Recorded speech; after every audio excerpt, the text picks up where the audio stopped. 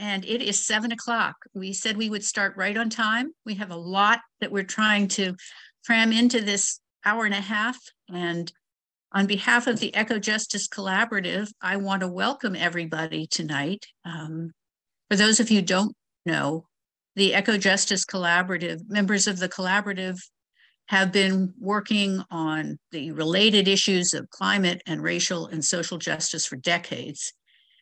And we know that there are many friends in the yearly meeting who aren't part of the collaborative who've been doing that work too.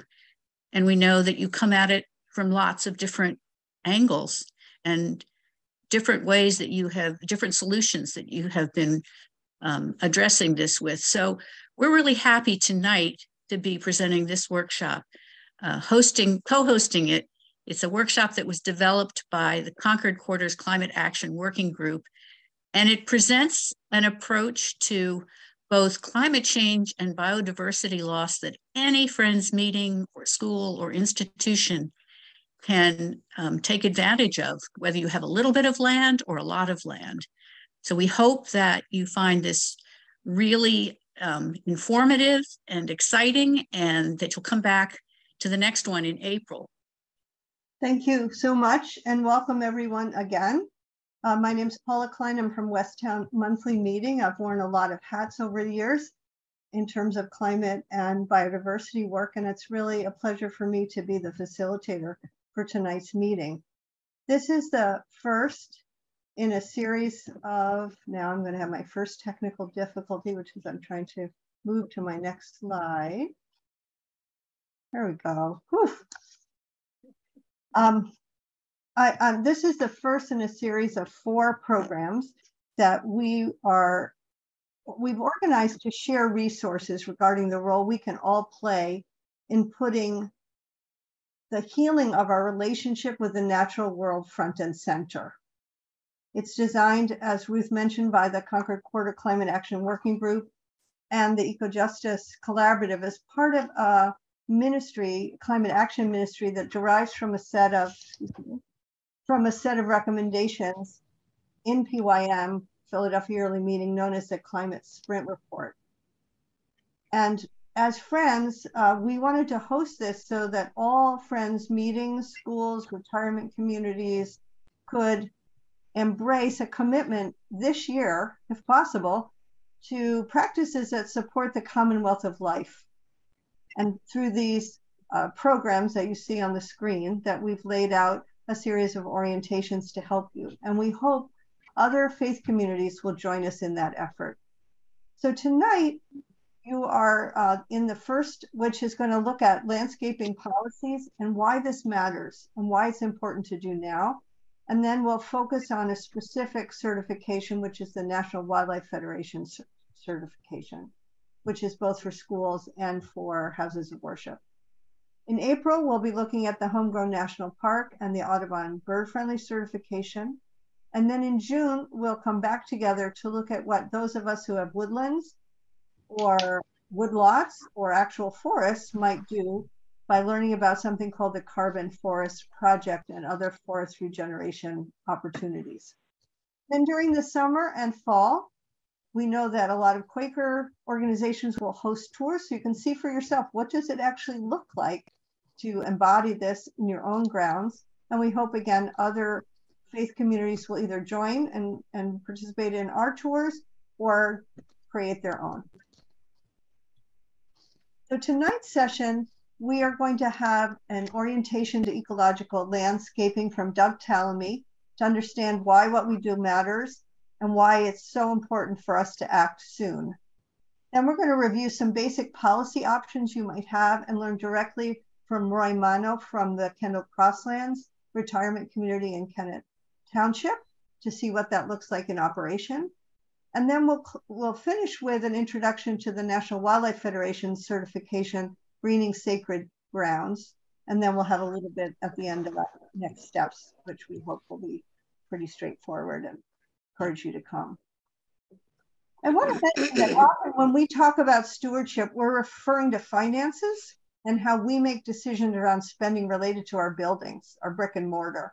And there's an increased focus on lowering our carbon footprint by reducing our greenhouse gas emissions. And that makes so much sense. We should be doing that. And while we don't often think of ourselves as large property owners, as faith communities, we actually control a surprising number of buildings using fossil fuels. We hope you are all aware that for the first time, I'll say that again, for the first time, nonprofits, which we all are, can take advantage of subsidies for transitioning to renewable energy.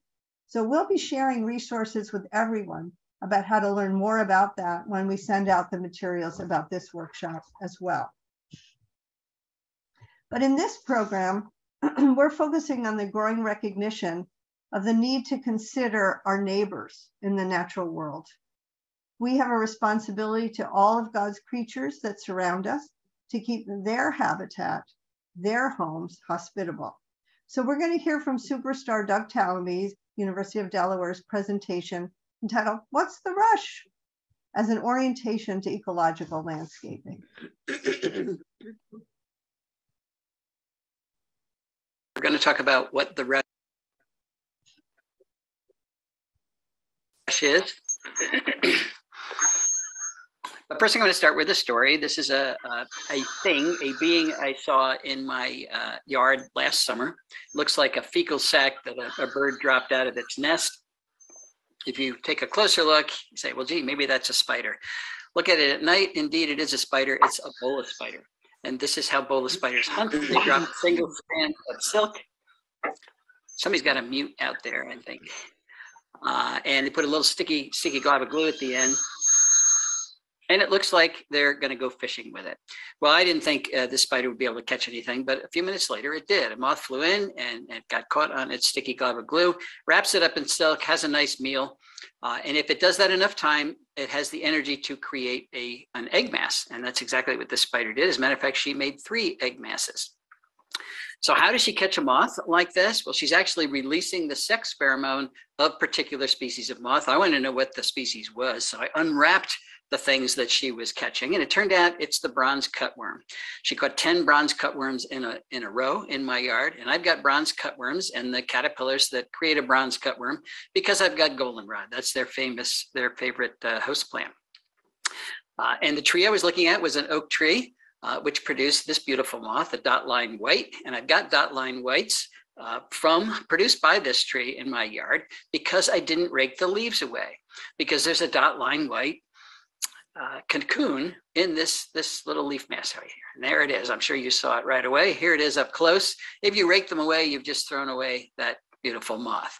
I've got evening primrose moths in my yard because I've got evening primrose. So the moth comes and, and spends the day with its head stuffed in the flower. It's very cute.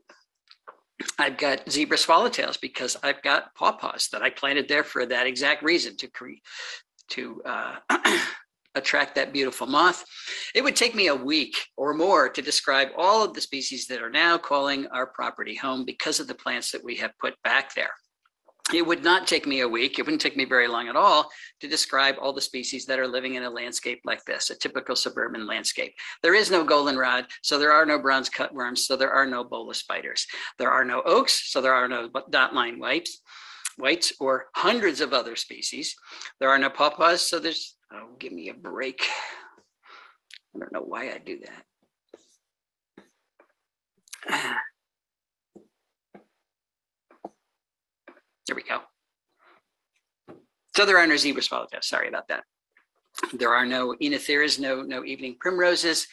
Uh, so uh, we have no no uh, evening primrose moths. There is very little life that can live in a typical landscape like this. And of course, you know that. But that is why we're seeing some pretty scary headlines. The insect apocalypse is here, talking about global insect decline. North America's lost 3 billion breeding birds in the last 50 years. A third of our North American bird population is already gone. Two thirds of Earth's wildlife is gone. 1 million species face extinction in the next 20 years. 40% of Earth's plants face extinction. These are big problems, folks. These are big problems. And they're problems because we have not shared the planet with the natural world. We're taking the resources for ourselves. And that's why Elizabeth Kolbert gets to write The Sixth Great Extinction. I'll bet she would have been happier if she didn't have to write that book. Jason Hickel says biodiversity loss is such a strange euphemism for the mass destruction of non-human beings.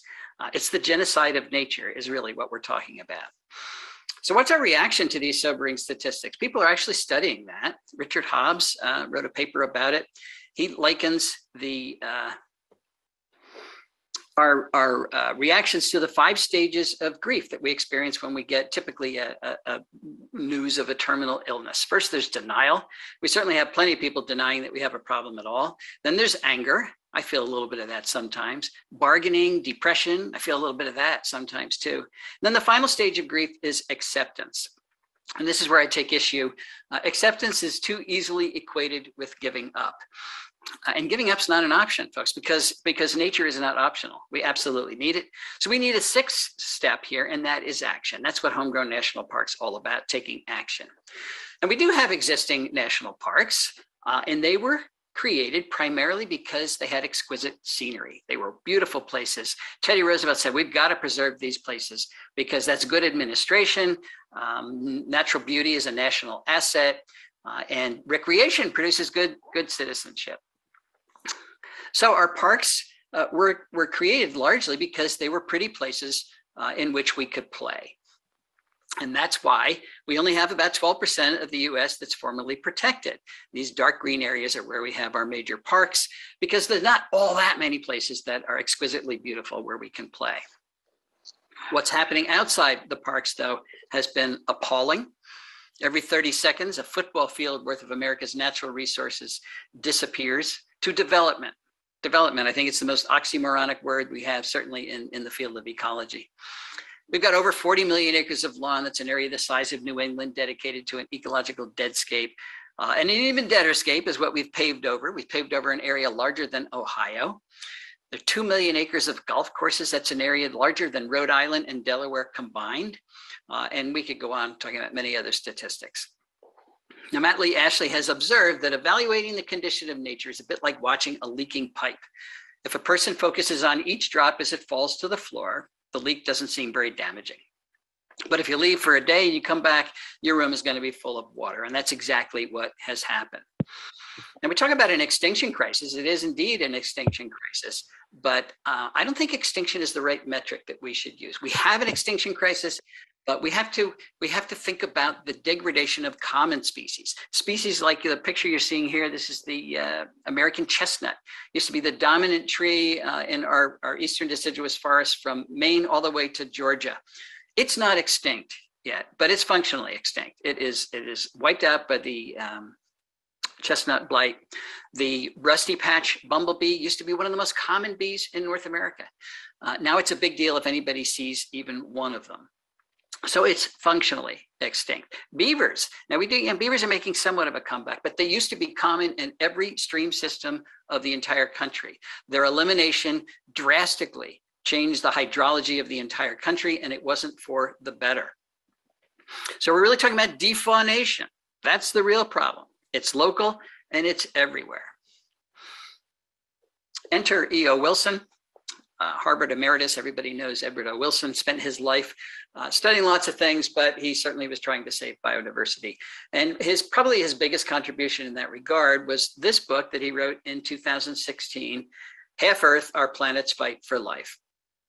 And in this book, he, he uh, noted that in order to save life anywhere on planet Earth, we're going to have to save nature. We're going to have to save functioning ecosystems on at least half of the planet. And if we don't do that, it's going to just disappear everywhere. And he spent most of the book uh, talking about the science that supports that statement. And then he ended the book. Um, he didn't tell us a whole lot about how we were going to do that. Now, fortunately, and, and somewhat to my surprise, people are actually listening uh, to his, his Half Earth initiative. Uh, the UN has, has uh, created a global initiative initiative. First, the 30 by 30, we're going to save 30% of the planet by 2030. And that's step one going towards uh, 50 by 50. So the UN is doing what the UN does. They get a bunch of people together and they're they're negotiating uh, how we're going to protect biodiversity. And it's not going any better than all the negotiations about climate change have, have gone. Can you imagine negotiating whether or not we're going to save life on, on planet Earth? Well, that's exactly what the UN is doing. Um, and everybody's got this notion in their in their head that that that we're actually going to save 50% of the Earth uh, as as pristine ecosystems. How could this be possible? Well, it can't be possible. It's not possible. Half of planet Earth is already in some form of agriculture, uh, certainly not pristine. We've got 7.9, soon to be 8 billion people in the other half, uh, along with all of our, our infrastructure and our detritus. Uh, there isn't 50% of planet Earth that is still pristine. So how can we realize EO's dream? Well, uh, actually, I think I think the answer is obvious. We're going to need a new approach to conservation, and it's not about putting pristine areas aside. It's about restoring the areas that we have destroyed, and we're going to do that by finding ways for humans and nature to coexist. In the in the past, we've had this idea that they cannot coexist. Uh, but what I what I have been arguing for a long time now is that um, coexisting with nature is now the only viable option that's left to us. We absolutely have to find ways to do that. In the past, of course, conservation has worked pretty much exclusively where there weren't a lot of people. Uh, so we now need to practice conservation where there are a lot of people because that's pretty much everywhere. And I'm not just talking about conserving what's there, I'm talking about restoring what is already lost. So in other words, we have to find ways for nature to thrive in human dominated landscapes, not hang on by a thread, but thrive. So if protected areas uh, are, are not large enough, we're going to have to practice conservation outside of those protected areas, outside of preserved areas. So we're going to have to practice conservation in areas like this, but also in areas like this. And as Crosby, Stills, Nash, and Young once said, uh, if you can't be with the nature you love, love the nature you're with. I might break into song if I think about that too much where are we talking about? We're talking about private property. 78% of the US is, is privately owned. Um, and, and 85% of the US east of the Mississippi is, is privately owned. So we have to practice conservation on private property. And uh, lawn is the low hanging fruit. It's really what got me thinking about uh, Homegrown National Park to begin with. We have more than 40 million acres of lawn. That's a 2005 statistic, so we know it's bigger than that now.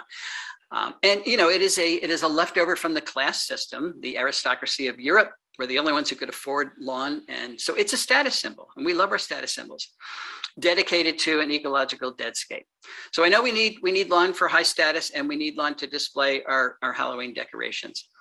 Uh, but what if if we replanted half the area that is now in lawn? That's the idea I had way back in 1987. That would give us 20 million acres that we could put towards conservation right at home. We could create Homegrown National Park, which will be huge. It'll be bigger than the Adirondacks, plus Yellowstone, plus Yosemite, Grand Tetons, Canyonlands, Mount Rainier, North Cascades, Badlands National Park, Olympic National Park, Sequoia National Park, plus the Grand Canyon, plus Denali, which is huge, plus the Great Smoky Mountain. At all those parks, it's still less than 20 million acres. So Homegrown National Park will be the biggest park in the country. I started talking about that in my talks for years. Uh, and then I finally, uh, when I wrote Nature's Best Hope, I included it as a chapter. But um, you know, talk is cheap. That's pretty much all I do. Uh, and then I did meet Michelle, and she talked about how how uh, how this started. She came up to me after a talk and said, "You're you're just talking to the choir." And I said, "Yes, it's only the choir who invites me." And she said, "Well, you're not going to succeed unless you get beyond the choir."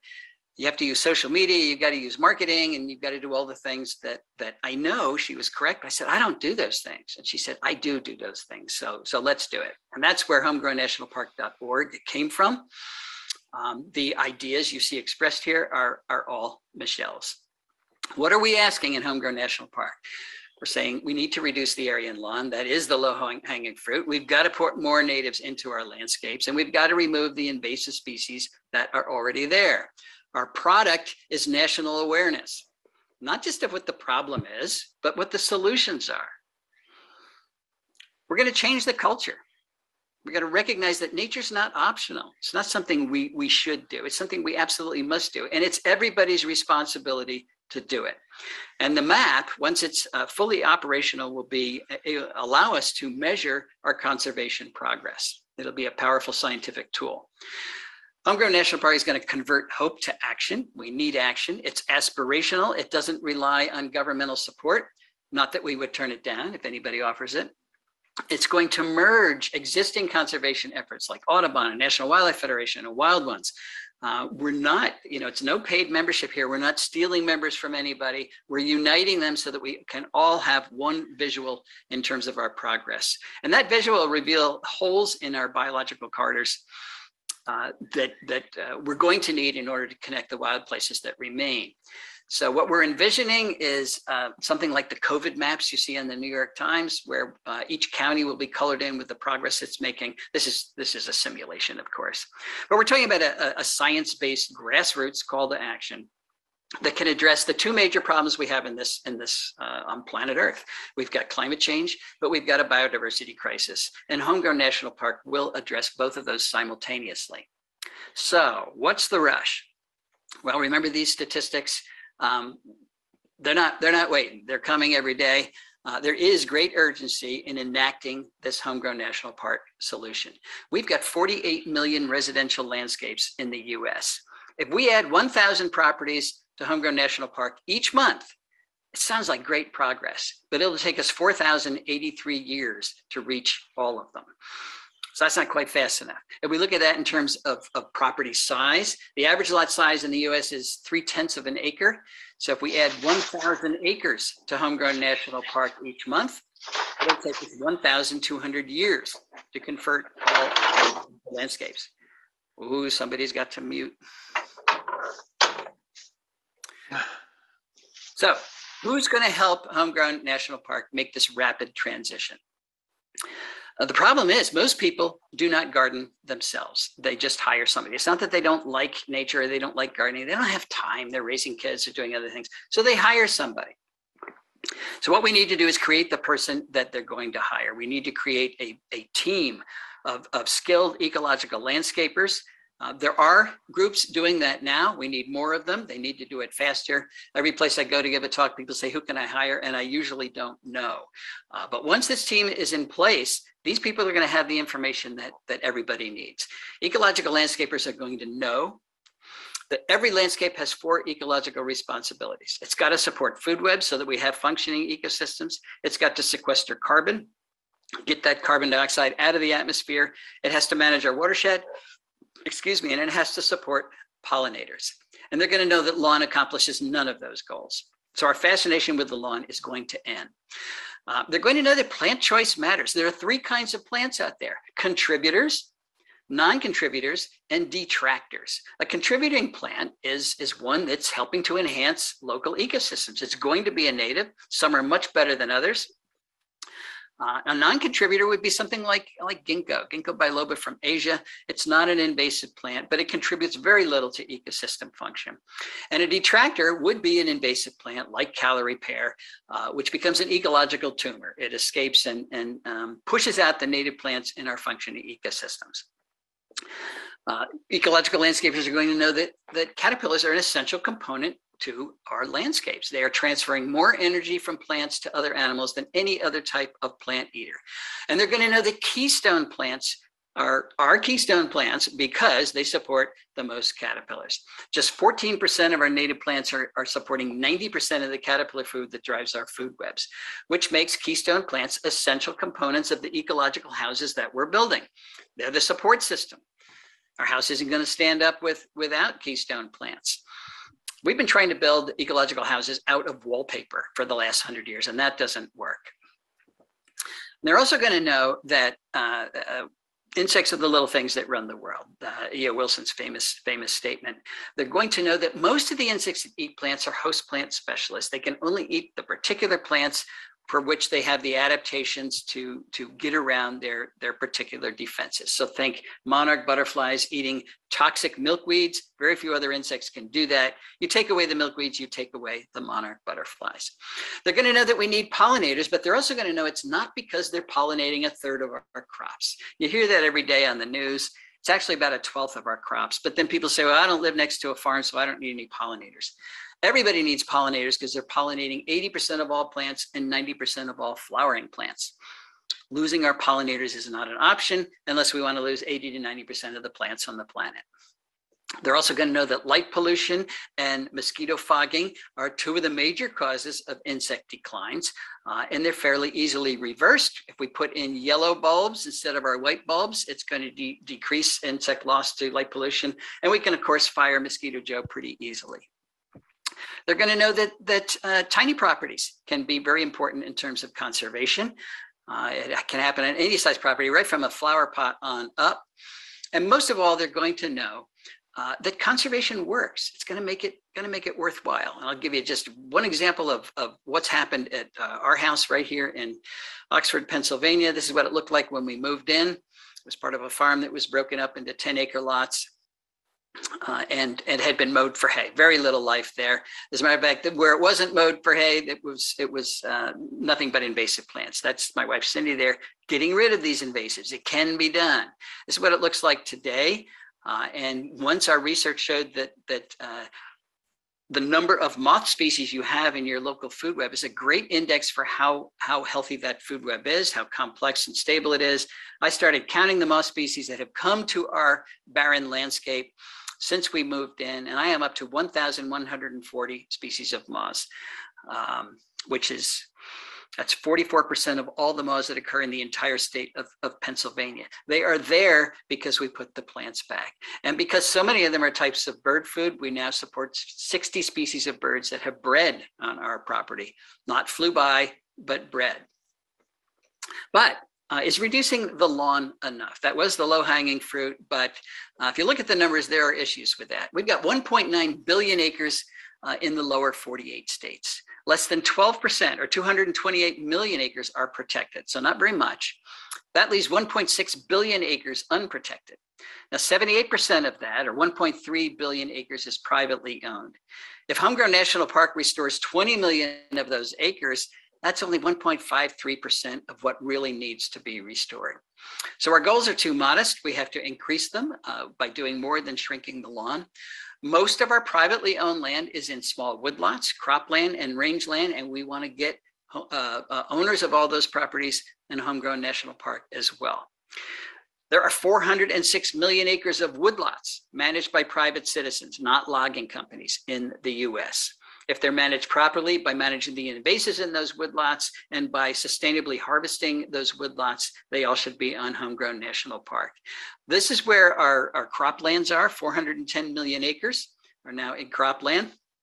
Uh, big area, uh, but there are things that that our, our farmers can do. We can restore the native plants on the edges of the fields. We can put in prairie strips.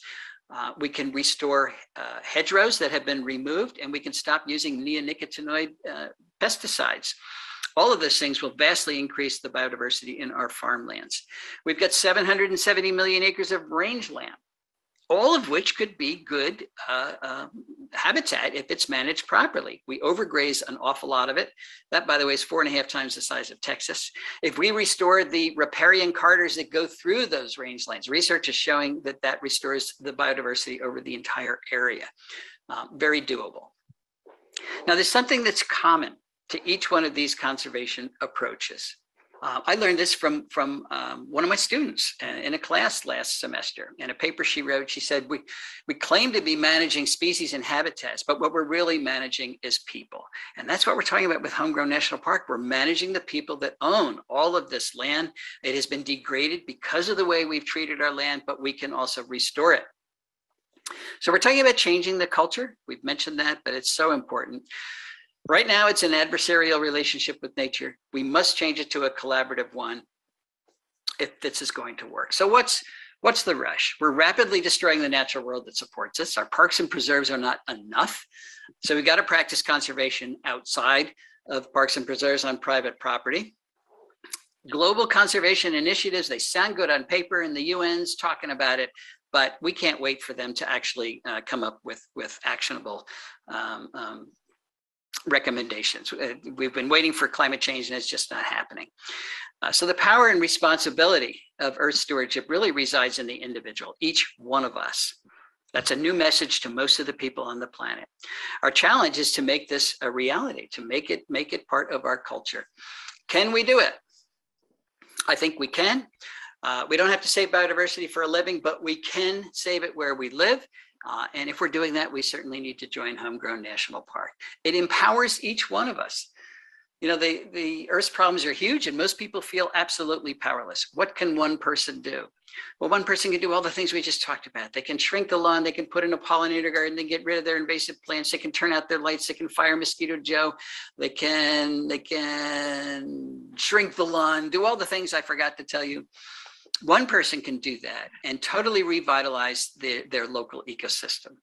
And it shrinks the problem down to something that's manageable for each one of us. Don't think about the entire planet's problems. You get depressed. Just worry about the piece of the planet that you can influence. If you own property, it's obvious. That's where you where you start. If you don't own property, you help somebody who does. So Aldo Leopold said a number of wonderful things, and, and one of them was there are some who can live without wild things and some who cannot. Now, I know he was talking about the emotional connection with nature, but actually, no one can live very long without wild things, for it's the wild things that keep us alive. Thank you for listening to that introduction. And we want to give you a chance to reflect on what you've heard and to introduce yourself to some of the other folks who are here. So, Olivia, in a few minutes, is going to to magically do what Zoom allows us to do, which is to be in a room with uh, two other people. And we'd like you to introduce yourself and share something that inspired you from this presentation and something that you heard that you think your congregation or community might be ready to take on in some form. Welcome back. I see people rejoining us. Welcome back. Welcome back. You've been with us um, uh, almost 40, 45 minutes. So I'm going to ask everybody just to stretch your arms up or stand up or mm. shake out a little bit because I want you to be fully present to enjoy the rest of the program. Roll your shoulders back, whatever, whatever will be helpful. I'd also like to invite you to share any of your ideas or takeaways in the chat. You're, if you're willing to do that, please do. But right now, we're actually going to move on to practice. How do we make this work in real time at real places? And I want to say that there are um, uh, there are two, I think, really excellent reasons to think about having a policy, and that's for our own health and safety. The, the image on the left talks about the toxins that we're exposed to every day. And according to the EPA, our off road gasoline powered equipment, such as lawnmowers and those famous leaf blowers, they emit approximately 242 million tons of pollutants. That sounds bad, but it gets worse because that's just as much as our cars and our homes. So we believe strongly that one of the very first steps for all of us is to make a real effort to create a policy for our houses of worship, our schools, our retirement communities, seminaries, cemeteries, that is um, really claiming that we are committed to ecological land stewardship. And I'm just going to name here that most policies have a very general structure. There's always an overview, which is your value statement and what your intentions are. The scope, which tells you and the community how much of your land are you going to dedicate to this work and uh, uh, over what period of time. And then there's usually four areas that are specific procedures. Plantings, what's in, what's out. You heard Doug Tallamy talk about his recommendations there. Chemical use, in or out. Water use, priority on conservation, and equipment. Let's remember that slide about shifting from fossil fuels to electric or something that gets the pollutants out of the air. So I'm going to introduce now Roy Mano, who is the facilities director of um, Crossland Community in Kennett in Pennsylvania. We're thrilled to have him because he can give us some real world experience, both about policies and how some of this looks in real life. So welcome, Roy. Thank you so much for your time tonight. Oh, thank you very much, Paula. And I'm really happy to be here and I'm glad that you made us all stretch for a minute because now I have the opportunity of having everyone stay awake while I share my little bit of insight with uh, what we're talking about tonight. So thank you all for having me as part of the group. As Paula said, I'm the director of facilities for Kendal Crosslands Communities. And in that role, I oversee the maintenance department, the grounds department, resident transportation, and uh, essentially what we call our um, campus responders, which are light maintenance and security, or rather safety, I should say.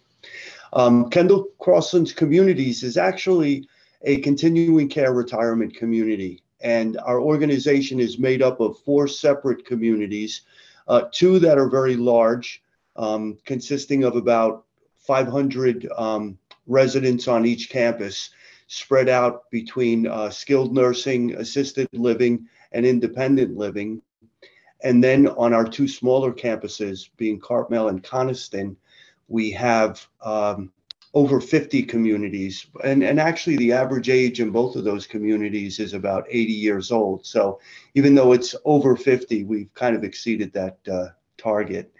Um, we have about 102,000 square feet of occupied space, and our communities live on 500 acres of property. So we've got quite a lot of uh, ground to cover. 85 of those acres are wooded areas. Uh, and in those wooded areas, we have 14 trails and 26 acres of those 85 acres are what we call spray fields, uh, where we um, spray the water from our wastewater treatment plant. Uh, we purify the water and then uh, water it into the wooded areas. Um, we have 276 what we call natural areas throughout the communities, and that's anything from a small garden to a large meadow. Uh, I mentioned the wastewater treatment plant. We are a certified arboretum, and our ground staff are, as we all are, very proud of that uh, designation, and they do a lot of work to maintain that. Um, related to our grounds team, and more specifically for this group, one of the key components of what we do in maintaining our grounds and our natural areas, uh, we have several really key committees and those committees are made up by residents as well as administrative members, you know, members of the management team and other workforce members.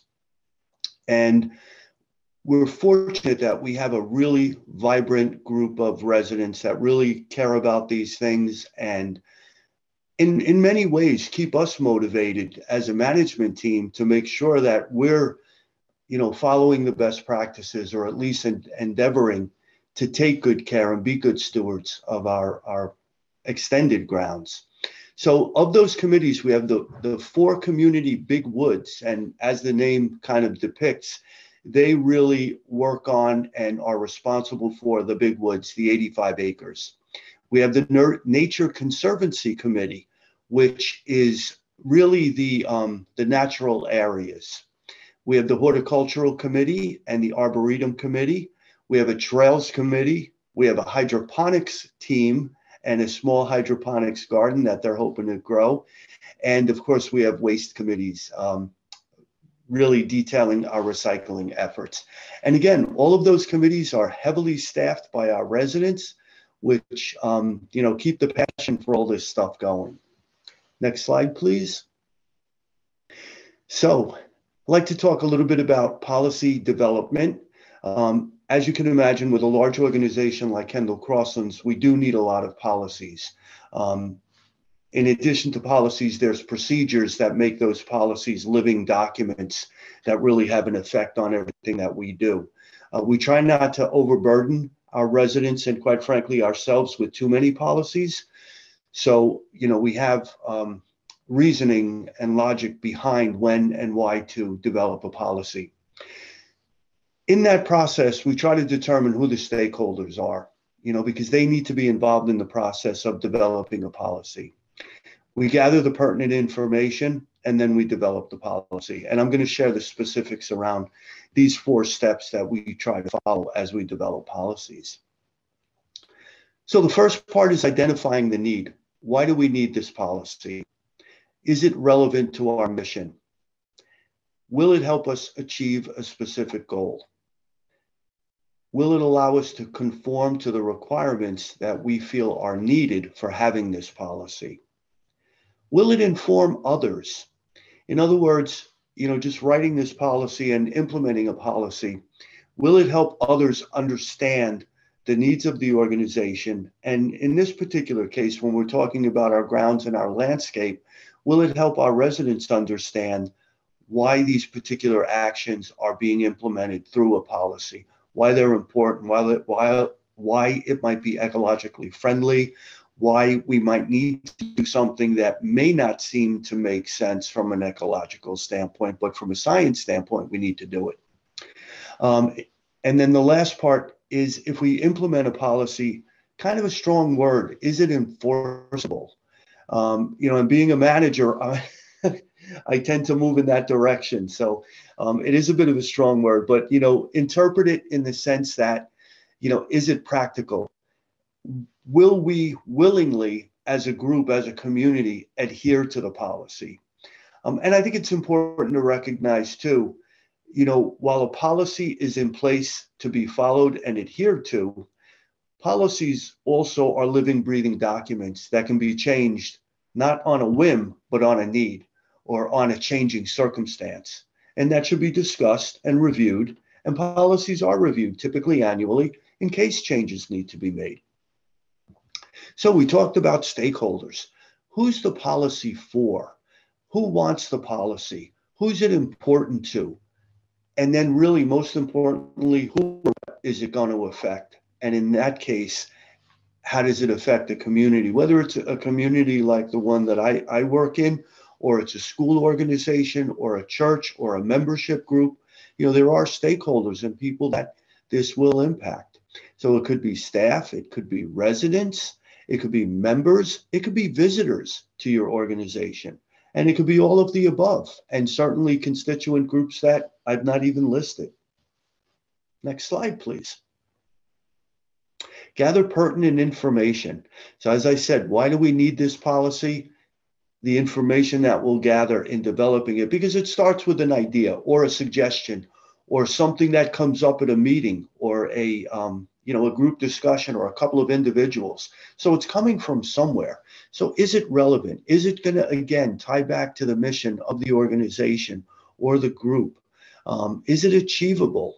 Is there a goal? Is there an end in mind? Um, you know, and policies can be general and can be broad. Um, the procedures are when you might get into more specifics, but it is good to have an end in mind for what the policy is setting out to do. Um, we want to make sure that whatever the requirements are of that policy, they're reasonably, there's a reasonable ability to conform with the policy. Uh, we don't want to be, you know, a police state, but we want to have policies that everyone can generally be familiar with or understand if they need to look up a policy to see what the case might be. Um, and we want it to be um, informing. Okay, developing the policy. Well, as I think everyone in the group is, we're a Quaker based organization.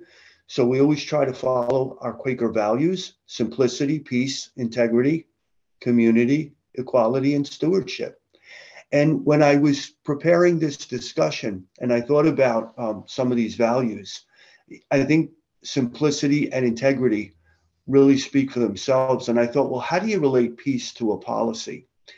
And I thought that um, agreeable was a good word to go along with that. So the policy should, you know, be agreeable to the, you know, most of of the people that are being involved in it. I don't think we can always get everyone to agree, but you know, if we can get most people, or at least gain an understanding from most people of why we need the policy, and stewardship, you know, that's a big one. That's really why we're here talking about these things. So the policy should include the purpose, definitions related to the policy, what the policy statement is, and then the procedures that make the policy an actionable document. Next slide, please. Okay, so when we develop a policy for our landscaping decision, whether it's grounds or landscaping or anything that we're doing out of doors, quite frankly, um, you know, we take into consideration four key things on the environmental side. Is it ecologically or environmentally uh, or naturally the responsible thing to do? We don't want to cause any harm. That can be really difficult in I was going to say in a large organization, but in any organization, especially when you're dealing with infrastructure, there's times when you have to do um, construction type work. You have to dig things up. You have to build structures, etc. And you know, from a natural perspective standpoint, that does cause harm. But of course, you want to minimize that harm. Um, we want to protect native species. We have a big push in our um, big wood areas. And this year, we're working on a project of eliminating invasive species and replanting um, native species. So a big effort going on with that. We got a lot of good stuff going on there. And we want to enhance for us, because we're a continuing care retirement community, we want to make sure that the policy, if we can, is enhancing the resident life experience at Kendal Crosslands.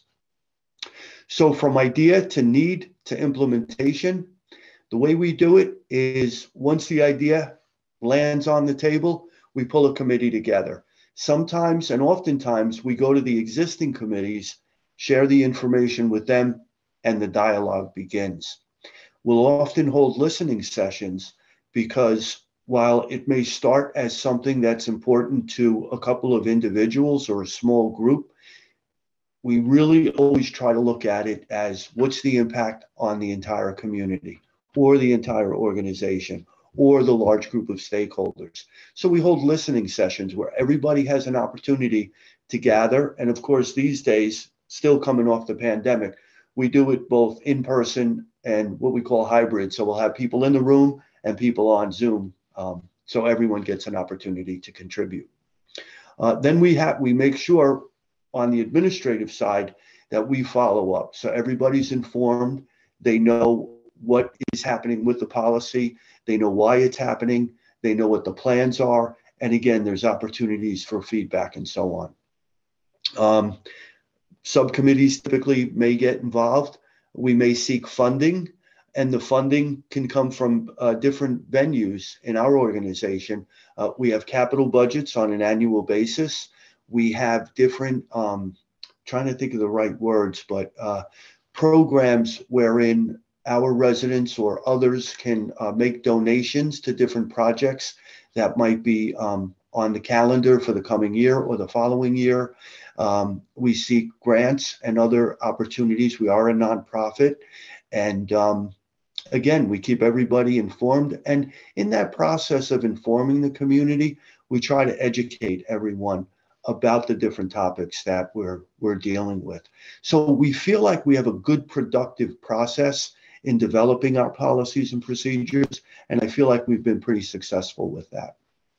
Next slide, please.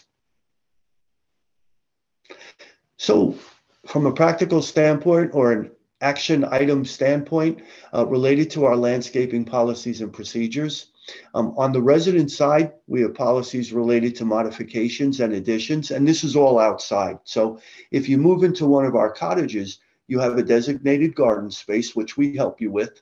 Um, you also have a natural area right outside your cottage, which you can participate in. And we have policies around that. Uh, we have community gardens, which are large spaces on each of um, really all four campuses where residents can go and, and, and have a larger garden space where they can grow vegetables or exotic plants or whatever they might feel like doing. Um, we have blacktop pathways that traverse the um, larger communities that are not part of the natural tra- trails in the woods. We have covered walkways so our residents can go about and not have to get wet in the rain. And we have policies covering those areas. We have landscaped common areas and we have a no whimsy policy, which I thought was real interesting when I first got there. Um, you know, because we have so many trees and you know the natural progression with a tree is occasionally they die and we have to remove them and i had the bright idea of why don't we carve something into the the remaining uh, stump of the tree and add some decoration and make it a um, a destination like a walking point for our residents to go see something because we're very much about keeping everybody ambulatory and my ground supervisor said roy that's a great idea but we have a no whimsy policy So, what that policy speaks to is um, we don't want we want everything to really be as natural as it can be. So while you can do some, uh, if I can say it this way, minor decorating in your private garden adjacent to your, your cottage, out in the natural areas, we really want it to remain natural and retain its natural beauty and not try to add to it artificially. Uh, from the community standpoint, of course, snow removal, uh, but stormwater management is a big part of what we do. Our original community was built 50 years ago. So you can imagine back then there were no regulations uh, um, uh, enforcing any kind of stormwater management. So we do a lot of catch up work and revitalization with that. Uh, we have ecologically friendly um, pest management and we recycle our grounds waste material as well. We have other um, recycling programs, but I thought that one was uh, a good mention for this group. Um, and then we also purchase clean energy.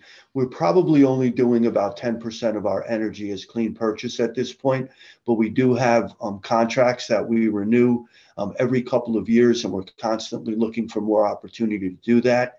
We're just getting into solar energy. We've installed our first, on a, on a small scale, uh, sets of solar panels, and we're looking to continue that.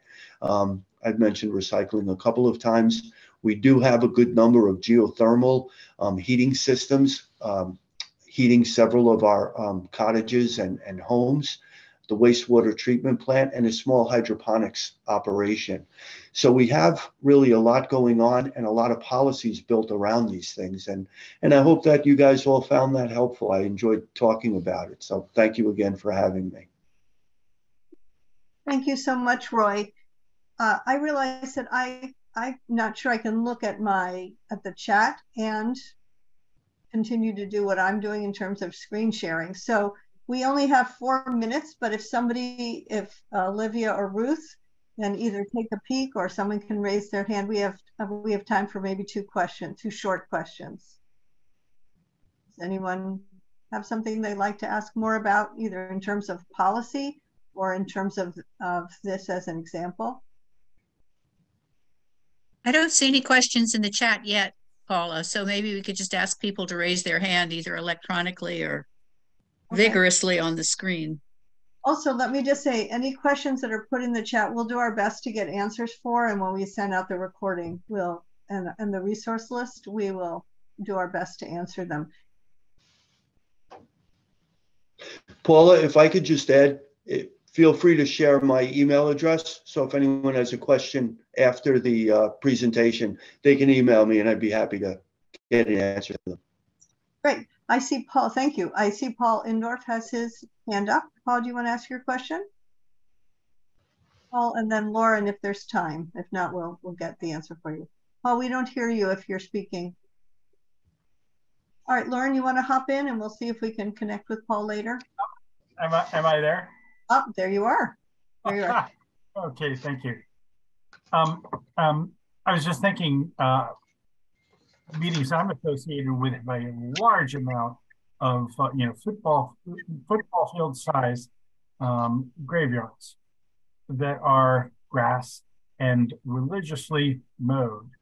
And I'm wondering if there is uh, some way to approach that uh, in terms of maybe overplanting something, mowing higher, uh, or making those more uh, sustainable. I can tell you at Kendal Crosslands, uh, two things that we've done. We're moving from grass areas to meadows.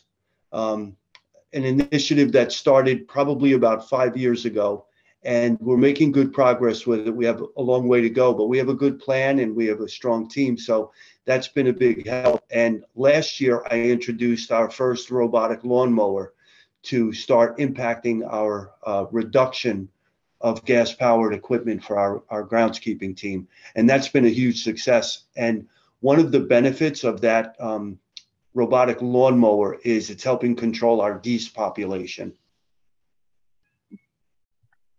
Thank you. Um, Paul, I think you're making also a good point about that. And I think there are a number of projects underway to model alternatives to that. And that might be a follow up to this series is to do something specifically around cemeteries. Thank you for bringing that up. Lauren, is it a quick question? I'll give it a try. Yeah, it can be. I was just curious if um, Kendal Crosslands had any particular, particularly articulated goals, like by 2030, we're going to change X or change Y. Like, what are the big areas of change that you're um, um, measuring somehow? Yeah, that, that's a great question. Um, we're trying to really define what the long-term goals are related to um, not only our natural areas and our ecological impact, but our energy usage as well. Um, our we have an energy committee which I didn't mention here, and they're pushing very hard for um, you know a carbon-free landscape at Kendal Crosslands. So administration and the energy committee and other committees there are working very hard on defining what that really means for us and how we can achieve that. So we don't have a definitive answer. And I, in talking with Paula the other day, I mentioned that for us at Kendal Crosslands, right now, it's very much a journey. And we have a glimpse of the destination, but we haven't defined it yet. Meaning that, you know, our, our journey on this um, conservation path is very much underway but we have a way to go in defining what that really means for us. Thank you. Thank you, Roy. Thank you, Lauren. Um, thank you so much, Roy. We're going to transition now um, to spend the last period of time. And of course, I'm having trouble again. Sorry. There we go. To the certification programs. And tonight we're going to watch a 14 minute explanation of the greening sacred grounds. And I'm going to open it right now.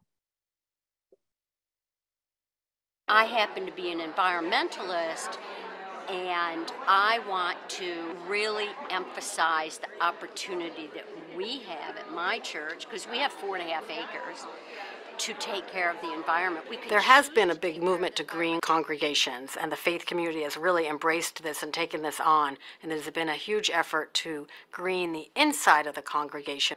Sacred Grounds is one of the first programs to really focus on the outside of the congregation, to talk about greening the grounds, which are obviously a very important component of a congregation. And we're going to have workshops for them where they can come and learn about how to create wildlife habitat.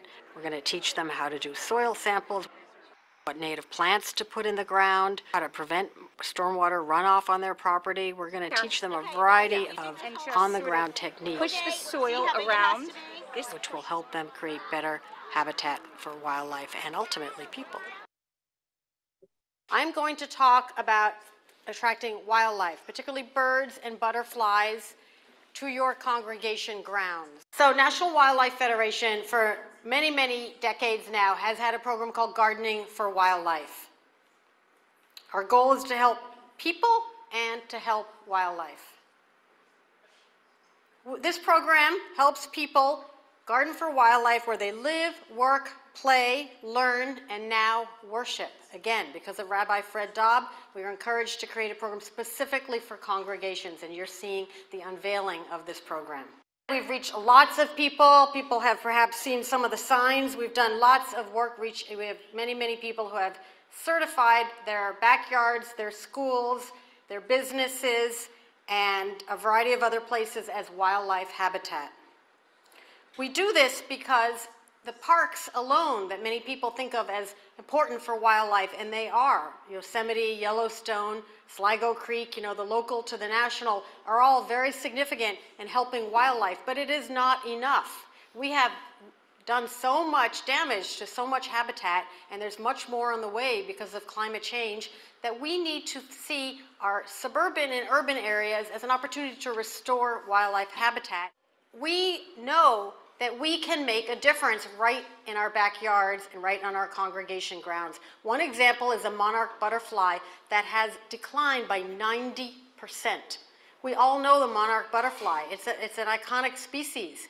And we can restore it by simply planting milkweed.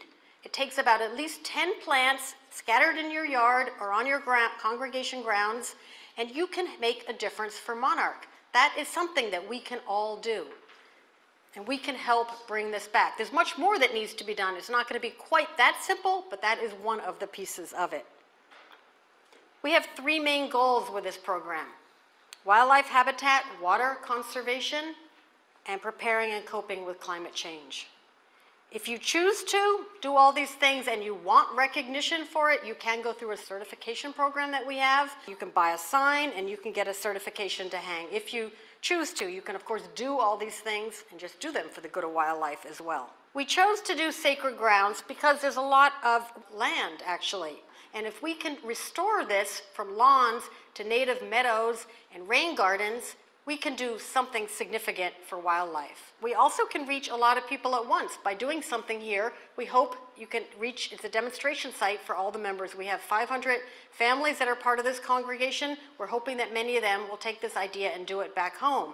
And lastly, as we know, congregations are community leaders, that the people who uh, are the that run the congregations, that speak for the congregations, are often very connected within their communities, in their neighborhoods, within other communities, and they're, they're ambassadors in a very positive way. And as people of faith, you can really, with a very clear message, share this information. So you have to do four things food, water, cover, and places to raise young. Water is one simple thing you can do, of course, is put up a bird bath. Place to raise young at Adat Shalom we had a girl make a bat house box. You could put up, we've also have bluebird boxes and screech owl boxes that we're going to be putting up here.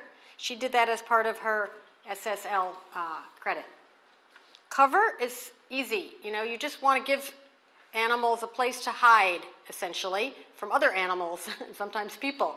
And, you know, things like rock piles are good for lizards. Leaf litter, leaving some leaves on the ground is very important for salamanders. Uh, brush piles are important for wrens. A lot of people have wrens in their yard, or if you, if you have a wood pile or a brush pile, you'll have those wrens right there. The last one is the most important, and that's food. Not all plants are created equal. Native plants are better, and I'm going to help show you why. Plants, of course, are the foundation for the food web, the web of life. If you have plants, then you'll have insects. The insects have co-evolved with the plants so that 90% of them, 90% of our insects, which are one of the basic next pieces of the food web, only can live off of the plants that they've grown up with over time. Only those plants. So people like to think about taking care of birds by feeding them seeds and such, which is great can be a great thing to do, but it's more for our entertainment, frankly. It's not so much that the birds need it. What they need are caterpillars. They need lots and lots and lots of caterpillars. 96% of birds rely on them to feed their young during the nesting season, which is just starting now. For example, a chickadee almost exclusively feeds on caterpillars. So how many caterpillars does it take? So this is what Dr. Doug Tallamy and others have found. He's a professor, an entomology professor over in University of Delaware. A pair of chickadees which feed their young can deliver food about every three minutes. This is how many caterpillars they can deliver in 27 minutes. This is how many they need per day. They spend 16 days before they're ready to fly. This is how many it takes within that short period of time. 6,000 to 9,000. That's a huge number of caterpillars. That's building a better bird feeder. So one of the things Dr. Tallamy has found is he's ranked and found out which plants are more important in the sense that they are host to that many more caterpillars. If you look at the oak and compare it with the beech, these are all native trees. If you really want to create a bird feeder, you want to think about an oak tree. But if you go on and look at that and you compare that to Bradford pear, right? That's an example of a tree that many are planted commonly in cityscapes. Look at the difference. You know, it's hardly one caterpillar compared to 233 caterpillars, right? Shocking. Same thing with uh, flowering herbaceous plants. Goldenrod asters, very important. Other black-eyed Susans, a beautiful one, also important. The data do show that native plants are much better. I can show you oodles more information, but this is just an example. We've created, working with the Forest Service and the University of Delaware, uh, an, an app that will be uh, unveiled in January that'll allow anybody to put their zip code in and it will print out or pop up all the best native plants that you can put. We have this, some of this data already for the Mid-Atlantic. He's doing this for the whole entire country to really help create this native plant movement. And hopefully people will walk in with that app with their smartphone into, you know, a, a, a nursery and say, this is what I want. This does not provide wildlife habitat. And we can do more. We can actually create functioning, productive habitats in our urban, suburban communities. We started with the Sacred Grounds Project working with three congregations. We worked with Adat Shalom. You're going to see an example and hear from a couple of people at Adat Shalom.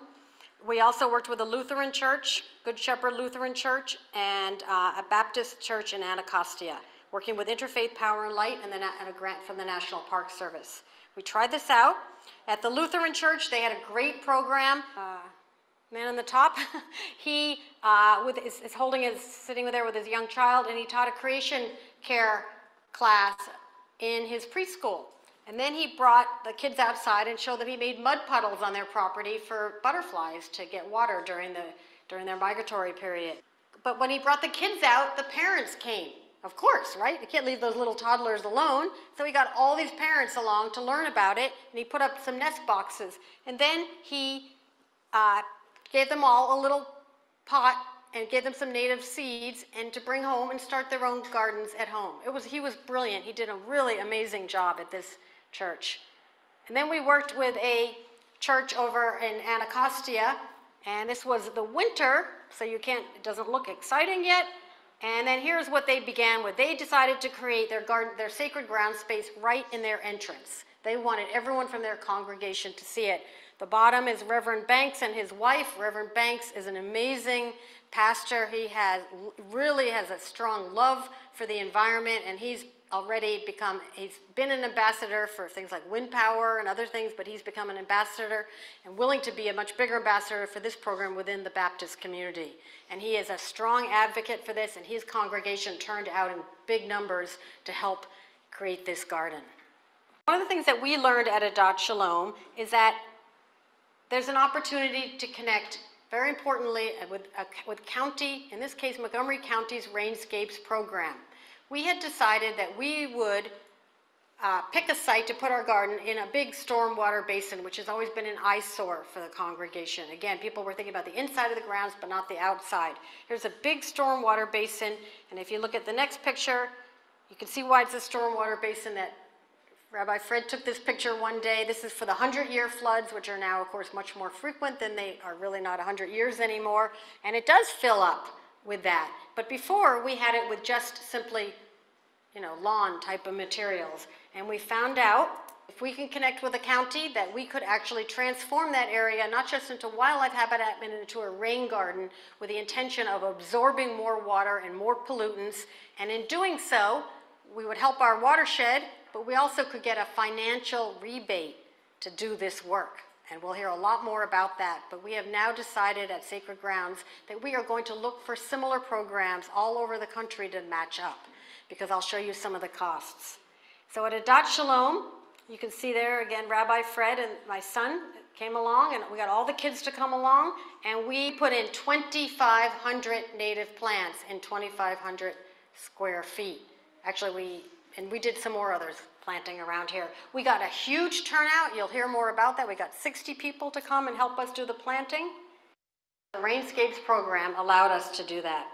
Montgomery County Rainscapes program provided us $6,000 refund to pay for our plants, our mulch, our compost, and it allowed us to hire a landscaper to take out all of that lawn. That's a huge figure. This is an example of some of the flowers that came up. So lastly, I'm just going to show you the certification program, besides doing the food, cover, water, places to raise young, so we have a couple of faith aspects to it. But we're still playing with this, but there's three main elements. There's a connecting faith and the environmental stewardship through the congregational leadership. Having a sermon, doing it through your uh, religious education. We did a lot of work with our Torah school here, and then using, using the site as an actual sacred space.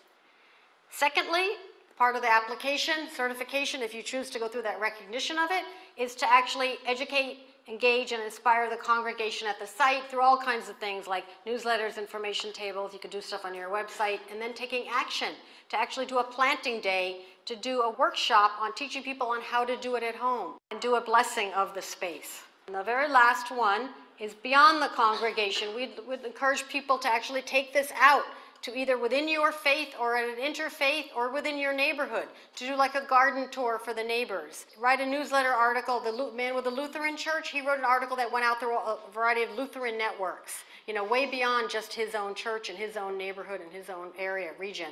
And there's all kinds of ways that we can help spread the word. I believe this is St. Francis, a really nice point is one is nearer to God's heart in a garden than anywhere else on earth. And that's what we're trying to create is again bring people outside to have a connection with nature right on congregation grounds to feel the spirit of nature right here on your grounds. And I think we can create that easily by encouraging people to take these steps.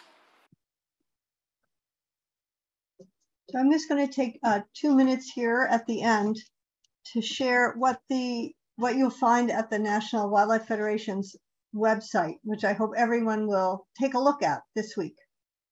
There are plenty of sites, but there's one page that gives you a summary of the required elements that we heard about, food, water, cover, places to raise young. They have a site specifically for schoolyard habitats. I worked for about 15 years at Westtown School, Quaker School in, in uh, Chester County. And I worked with this program. It's excellent.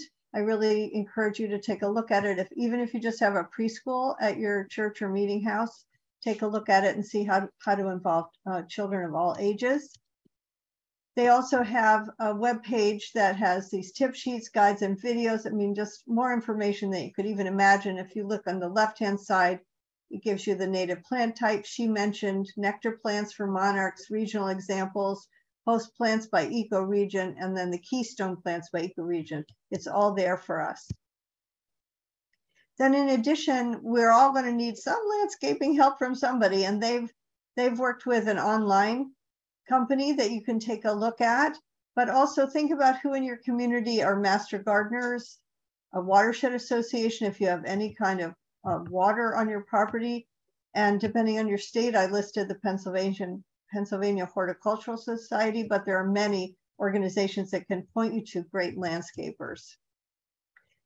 In addition to uh, our area, the Mid-Atlantic, we have some very excellent nurseries here, but they've also set up a, a DoorDash for you around native plant collection. So you can also take a look at what it costs and getting plants delivered.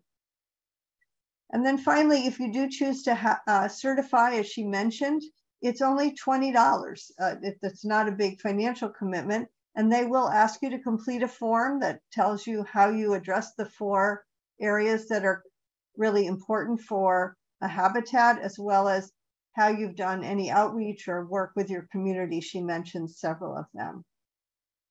So I'd like to name some of the things I've seen um, come through in the chat that I looked at earlier and some of my own takeaways to wrap up uh, that nature's not optional. Who, who, who, who knew? Nature is not optional. That small changes really matter. That we don't really have any time to lose. That nature is actually responsive. That life wants to work with us. That we can actually heal ourselves as we heal nature and that we are, as I mentioned just a minute ago, we are so lucky living in the mid Atlantic where we have great resources available to us. We kind of don't have any excuses here. And that we don't have to reinvent the wheel. We can follow those who've gone before us and created a structure and process that works, which leads us to the last comment, which is we hope you'll join us again to learn about the Audubon program, which is uh, similar but a little different from the program from the National Wildlife Federation and the details about actually how to register for the Homegrown National Park on April 5th. I'd like to encourage Roy, if he hasn't, to think about getting Kendal Crosslands on that map with everyone else. And many of us uh, already qualify for that. So I hope you're beginning to believe that together we can make our houses of worship, our schools, our retirement communities, our cemeteries, our farms, our seminaries, our retreat centers, models of ecological landscaping. So on behalf of the Eco Justice Collaborative and the Concord Quarter Climate Action Working Group, the Chester County Interfaith Action Committee, the West Chester Area Green Team's Living Landscapes, and the Westtown Environmental Advisory Council, I'd like to thank you for joining us, and I hope we'll see you again in April. Thank you very much for coming tonight.